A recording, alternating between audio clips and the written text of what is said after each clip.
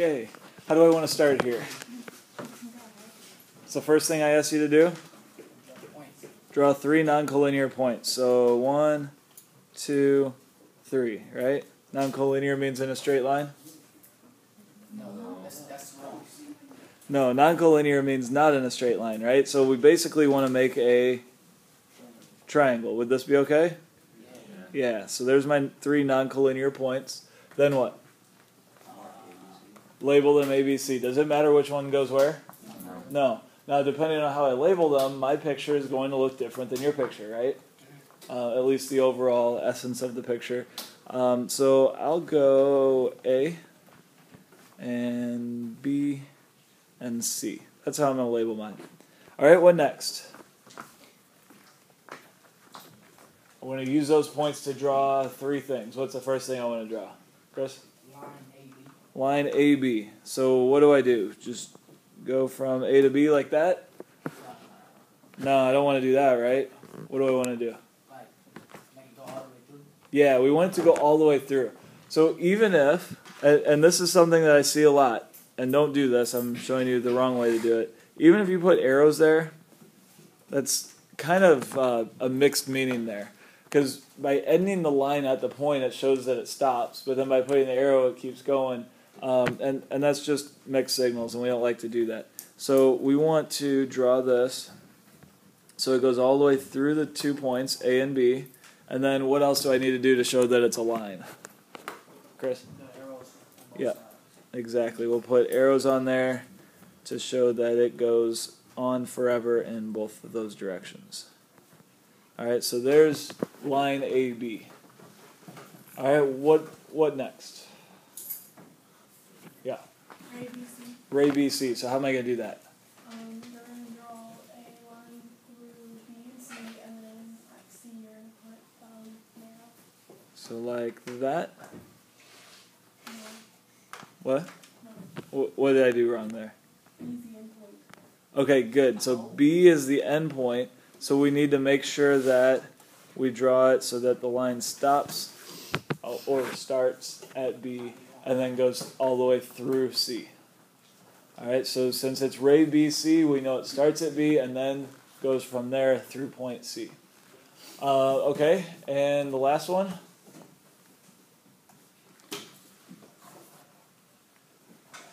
Somebody else?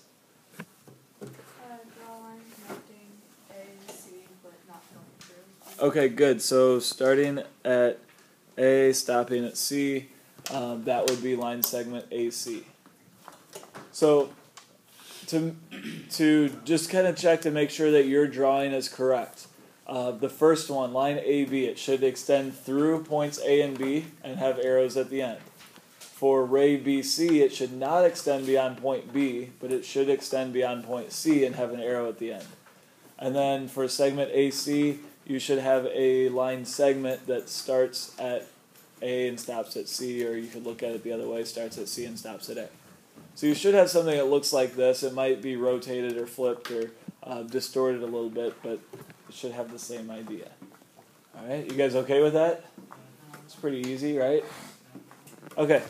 Um, so we're actually going to start a new topic today. We spent a couple of days on building blocks. Uh, we will be taking an assessment on those on Tuesday, along with um, the other two topics we've done, which is inductive reasoning and what do we do after inductive reasoning?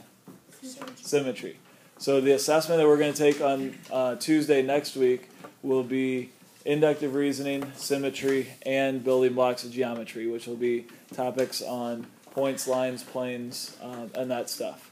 I will spend a little bit of time tomorrow going over the worksheet that I gave you yesterday um, to make sure that we're all on the same page and you know what you're doing with that. Okay? Any questions about that stuff? All right, let's move on then. Um, oh, hey, there's the opener again. Okay, so we're gonna do some terminology here. Um, for for each term that we talk about, I want you to draw a picture uh, and write a description of the term that we are talking about, so that you can go back, look at your notes, and and know what it is. Um, the first one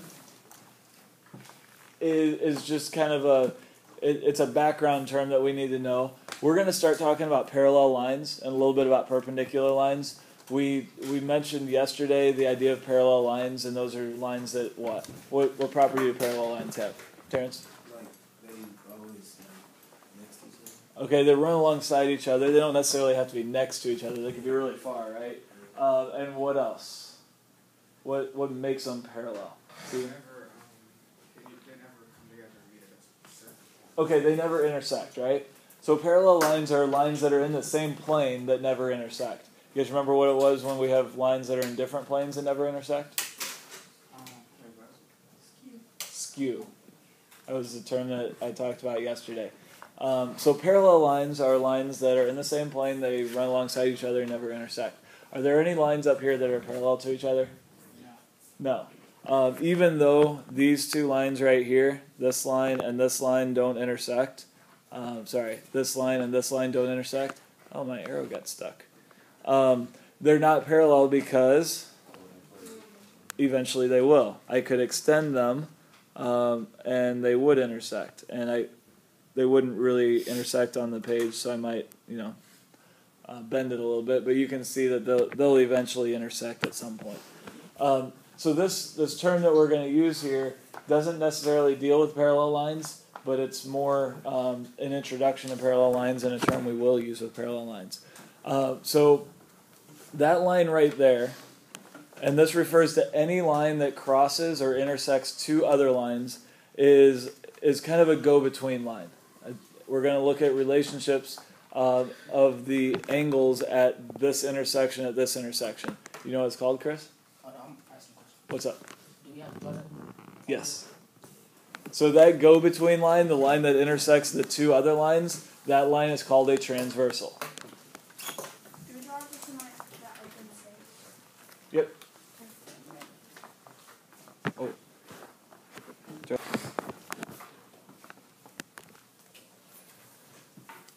Might be a good idea to write that down too. A transversal is a line that intersects two other lines.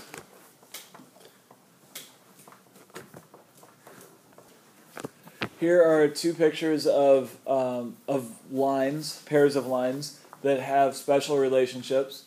Um, as they're drawn, we don't necessarily know if they have the relationships, but I think you guys know what they are. Um, what relationship do these two lines have? Parallel. Now, I just said as they're drawn, we don't know for sure that they have the relationship. Why? Why do we not know for sure that they're parallel? Because they don't continue on. Yeah, they don't continue on. They don't continue far enough to see if they're actually going to get closer together or not. Um, we could take some measurements that would tell us if they're parallel. Um, or, does anybody know how we could mark parallel lines in a drawing to show that they're parallel?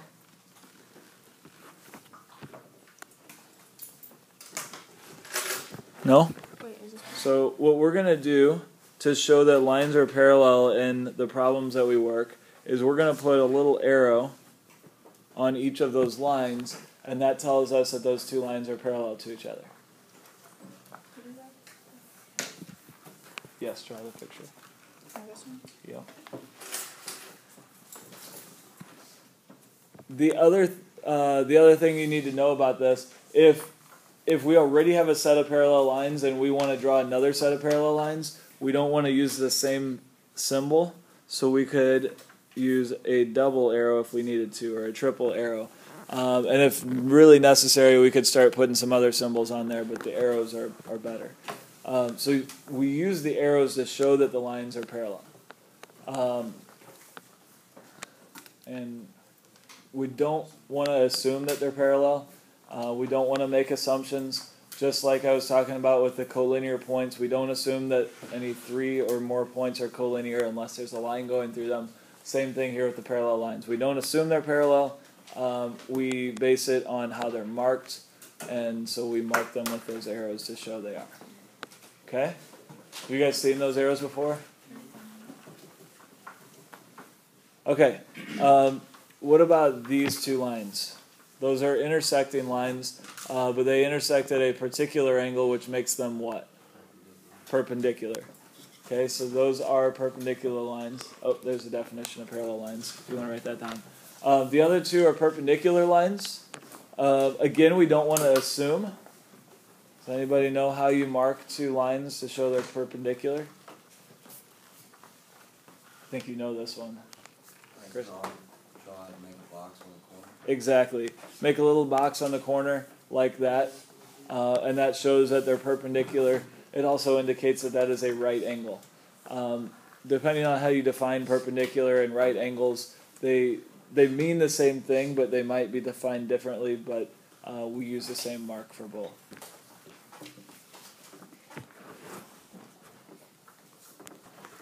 Not only do they create right angles when they intersect, but they also create four angles, and all four of those angles are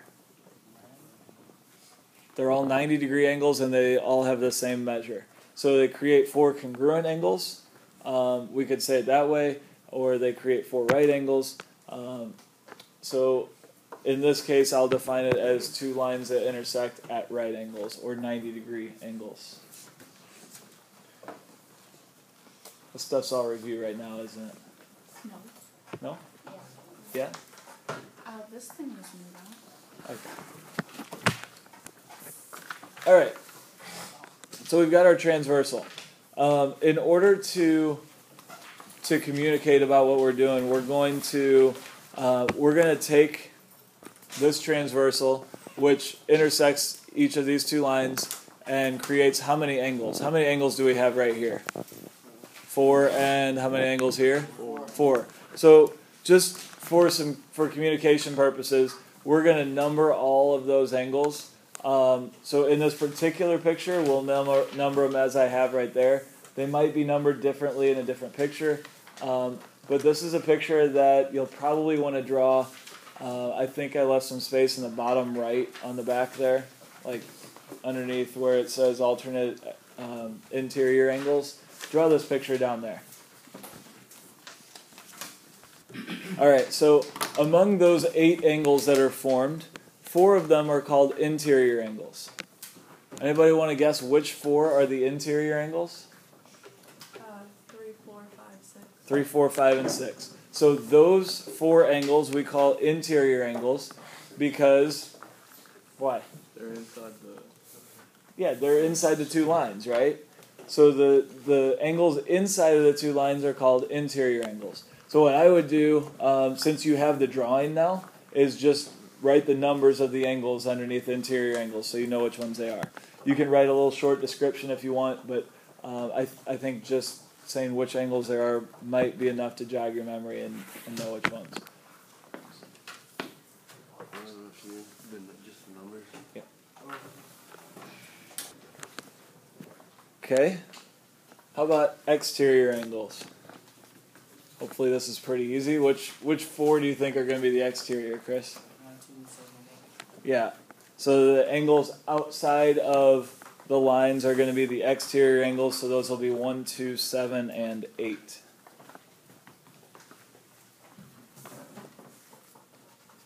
I think those names are pretty intuitive, aren't they? Okay, so now the more specific relationships that we're going to look at. Uh, corresponding angles. So all of the rest of the relationships we're going to look at are going to be pairs of angles. We're going to look at one angle and another angle um, together. So what we're going to do is we're going to take one angle from this group, one, two, three, and four, and one angle from this group, five, six, seven, eight, and we're going to give that relationship a name. One of those relationships is called corresponding angles. Anyone want to guess what a pair of corresponding angles here would be? One and eight, One and eight. Why? because they're the same measurement on opposite sides. Okay, that's true, um, but they're not going to be corresponding. They actually have a different name. Uh, what do you think? One and five. One and five. Why? Um, because they're both on the outside, or I don't know. Well, one's on the outside, five's on the inside, right? Yeah, So you still think one and five? yeah. Yeah. Why? I don't know because basically it's like the same. It's kind of hard to say, isn't it? Okay. How many people think that one and five might be corresponding angles? Okay, I agree with that. One and five are corresponding angles. One and five are corresponding angles because they're in the same position at their respective intersections. So one is top left, five is top left. So you could say the same position or same orientation. Um, so one and five are corresponding angles. What other pair of angles would be corresponding? Two and six. Two and six. How about another one? Terrence? Uh, three and seven. Three and seven. How about another one? Four and eight. Four and eight. Good. So there are four different sets of corresponding angles, and I would I would list all of them. Um, so one of the examples we had was two and six. Um, but there are four of them. So one and five are corresponding, two and six are corresponding, three and seven are corresponding, and four and eight are corresponding. Okay? All right. Next term same side interior angles.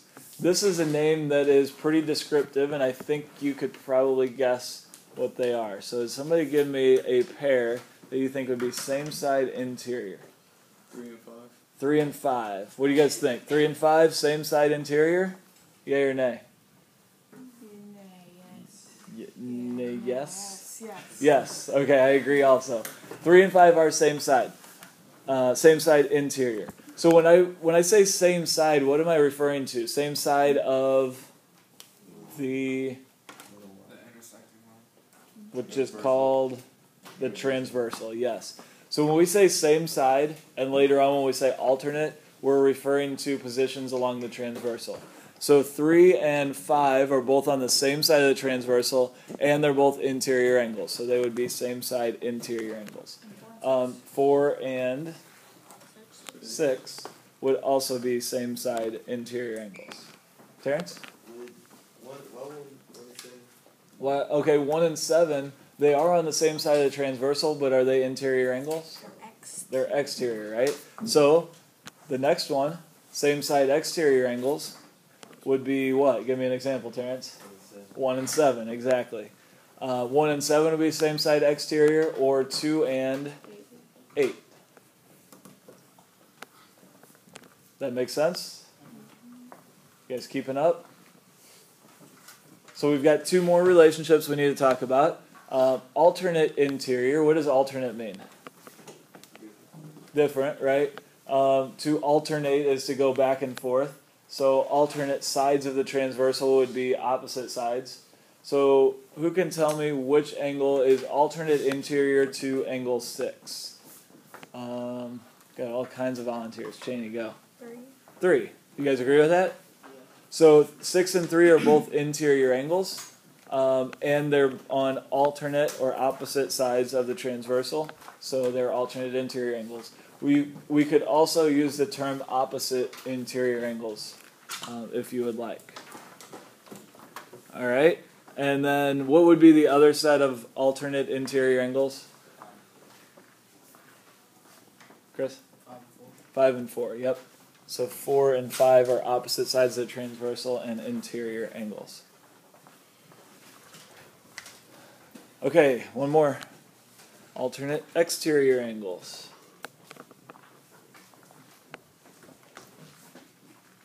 Give me some alternate exterior angles. One and eight. One and eight. Do you guys agree with that? Yeah, I do too.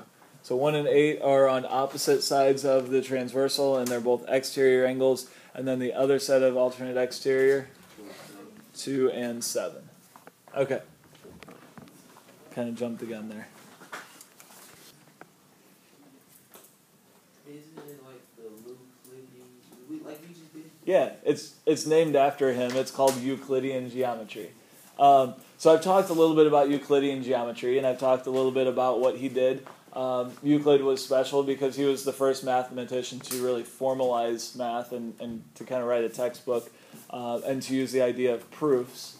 And basically, the way Euclid set up his geometry was he said, okay, there's these five things that we we just assume are true. Um, there are things that we can't really prove to true because they're so simple. There's no way to break it down and, and really prove it. And he called those axioms. Um, these are Euclid's five axioms. And, and everything he did in geometry was based on these five axioms. Now, of course, he had to define things. He had to make a definition for uh, what what a right angle is and uh, what a circle is and all that kind of stuff. Um, but these are the things, the properties in geometry that he said we're just going to assume these are true. So let's go through these and talk about what he means. This is kind of written in old language, uh, and so it can get a little bit confusing. Uh, the first one says to draw a straight line from any point to any point. So what he's saying there is if you have two points, you can draw a line, and when he says a straight line, he's actually referring to what we call a line segment. Uh, you can draw a line segment from any one point to any other point. So if you're given two points, you can draw a line. That's pretty common sense, isn't it? Don't, that seems like something that we could we could assume to be true. Um, and the idea of it being a straight line is important because if it's not a straight line, then we end up with pictures that look like this, and we can draw more than one, right? So if we're given two points, he says we can draw a straight line, which means that it's going to be unique. Um, and I kind of missed them there. Let's fix that. Uh, so we get something like that. So Euclid's first axiom just says we can draw a line segment when we're given two points. All right. Second one, to produce a finite straight line, which is what we would call a line segment, continuously in a straight line. So he says that if we have this line segment, what can we do? Extend it. We can make it bigger. Um, and it's going to go off in some direction, but we can extend that finite line um, as much as we want. And this this is kind of interesting. When Euclid was doing this, um, mathematicians hadn't really formalized the idea of infinity, so he didn't really say you can extend it forever, but it basically says you can extend it as much as you need to. So you can extend it, and then you could extend it some more if you need to, um, but he never really said you can extend it forever, because that was kind of a, a deep concept for them. Uh, and it's still a pretty difficult concept for us. But it's the same idea of turning a line segment into what do you do if you take line segment you extend it forever? A line.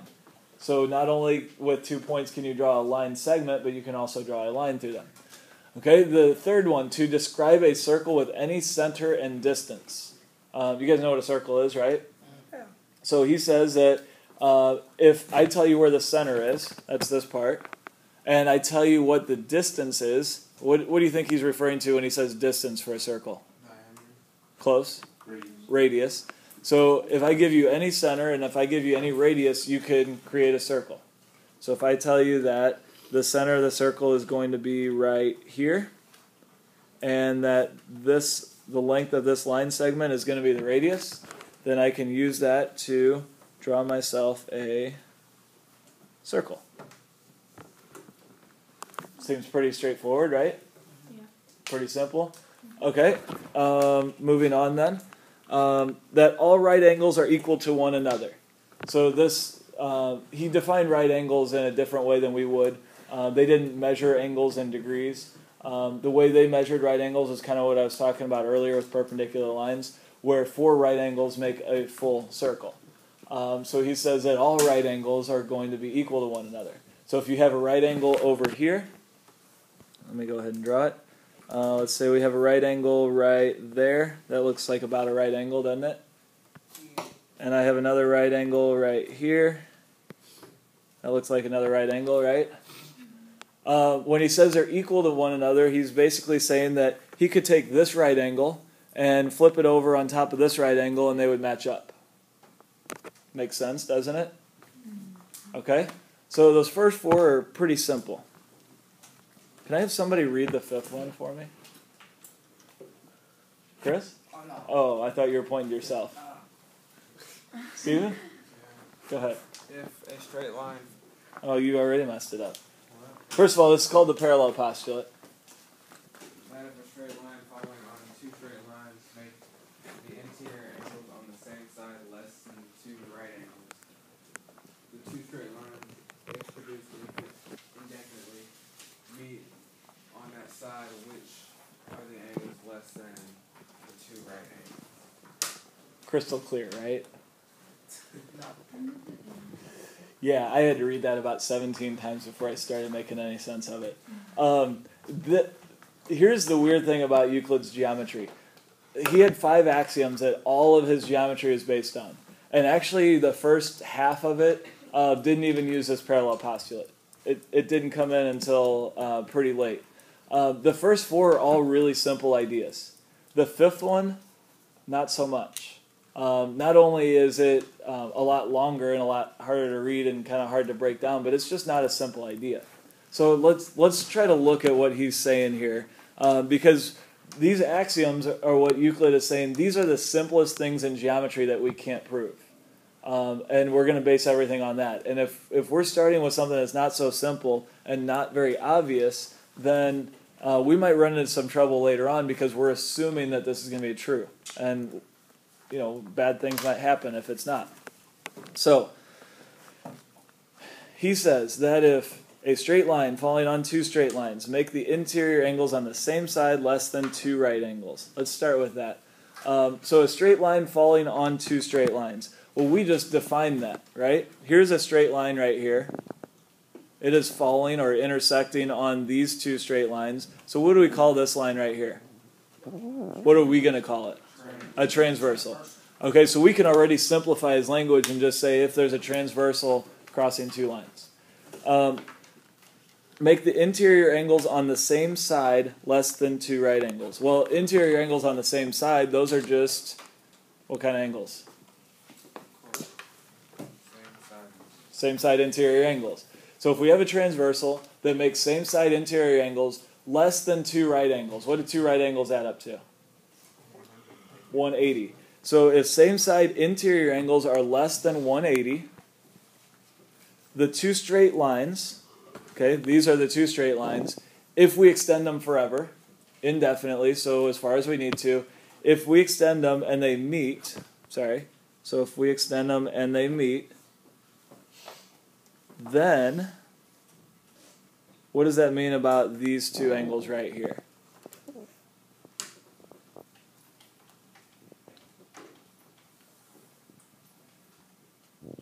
Sorry, we already know that. If these two are less than 180, then that means that these two are going to meet. That's basically all it's saying. So if same side interior angles are less than 180, then the lines are going to intersect on that side. That's what Euclid's fifth axiom says. So less than two right angles. You guys know any? You you guys know your Greek alphabet? No. No, you didn't have to learn that in like your Greek class in grade school. I'm I'm just kidding. There's probably not a Greek class in grade school anywhere around here. Um, this letter right here is the Greek letter rep, um, corresponding to our A. That's an alpha. Um, this is corresponds to our B, which is beta. Uh, this is delta, and this is gamma. Um, usually, when we're measuring angles um, as a variable, instead of using um, our our alphabet, we'll use the Greek alphabet to represent angles. Um, so alpha and beta in this case are two angles that are going to add up to less than 180 degrees.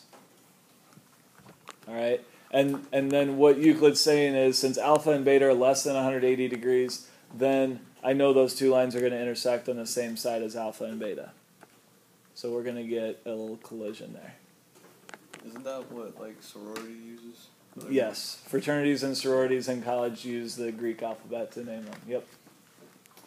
Um, okay, and the same thing's true on the other side. In this case, gamma and delta add up to less than 180 degrees. Um, so that means that um, what's going to happen? Are the lines going to intersect on the same side of alpha and beta or gamma and delta?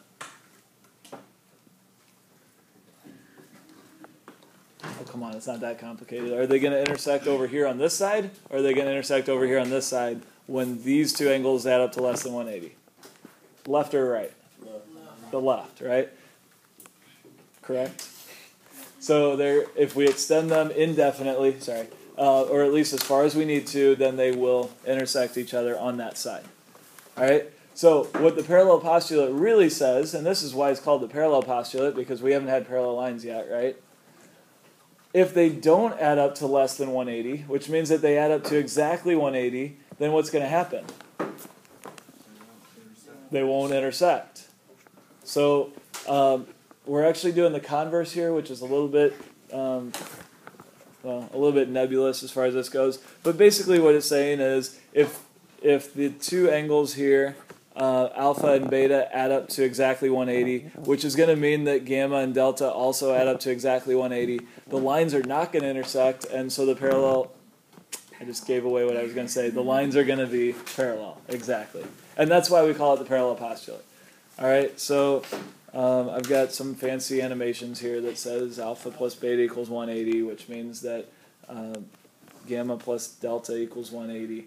Uh, and so that if I extend these lines as far as I want, uh, no matter how far I extend them, they're still not going to intersect. Cool? Now, the reason this is on a white slide is because you really don't need to know all that. I just like talking about it, I think it's fun. Okay. Um, to make it simpler, um, I, I kind of went through how we could simplify that, that expression, the parallel postulate. Um, basically, says if same side interior angles are not supplementary, what does supplementary mean? Angles that add up to 180, yep. Um, that's a term that we'll talk about in a second. Then the lines will intersect and they're not parallel. Okay, so in layman's terms, if two lines are parallel, then same side interior angles are supplementary. And that's what you want to write down. If you wrote something else down, just cross it off and write the new stuff. Uh, and I would recommend just drawing a picture. You don't have to number those angles, but draw a picture to show which angles are the same side interior angles. When we write definitions, give me one second, Terrence. When we write definitions in here, we're going to write them in a form called uh, biconditional. Um, and a biconditional is a sentence in this form that has if and only if in there.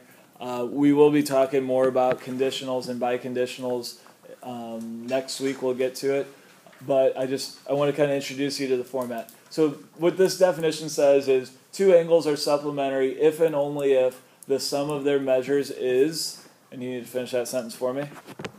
180.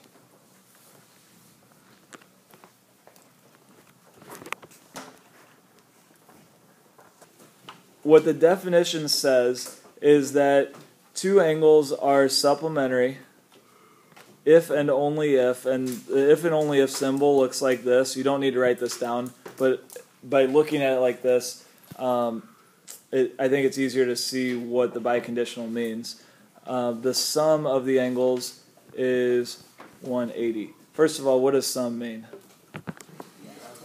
You're adding them together, right? So it's the answer to an addition problem.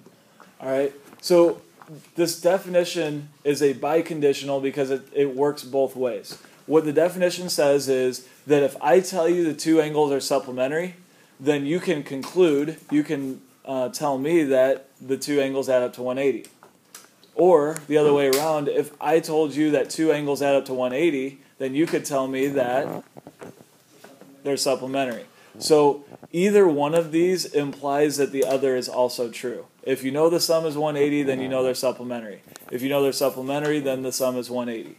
So when we write definitions, we're going to write it so that it works both ways. We don't want something, and there are a lot of things in, in geometry that only work one way. Uh, we don't want to write a definition or define a term that only works one way. That when when we have the term, then the definition is true, but when the definition is definition is true, then it's not necessarily that term, uh, because those kinds of definitions are not really useful.